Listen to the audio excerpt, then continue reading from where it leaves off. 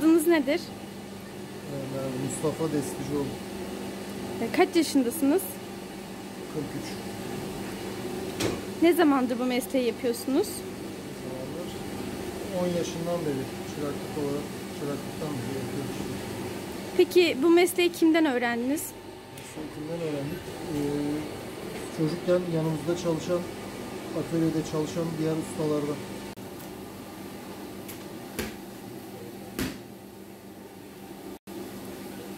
Çözmeye yapmak için ilk önce kil lazım. Kili oluşturmanız gerekiyor. Onun için de uygun toprakları çevreden, bölgeden buluyoruz.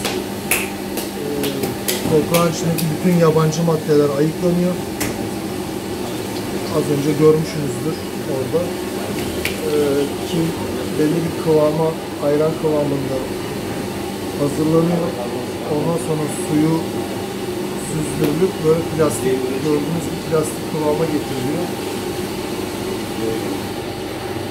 Çalışan arkadaşımız gibi elde yoğrularak, hamur yoğurur gibi tekrardan kıvamı ayarlanıyor usta yapmadan önce. Ondan sonra bizim elimize geliyor burada. Burada gördüğünüz gibi elde şekillendiriyoruz. İstenen form neyse ona göre. Burada şekillendirme bittikten sonra birkaç gün ürünler belli bir sertliğe gelsin diye bekletiliyor. Arkada gördüğünüz arkadaş da rütuşlarını yapıyor. Merhaba, ilk öncelikle hoş geldiniz.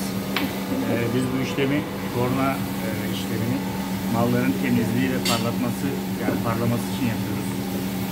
Daha güzel görünüyor.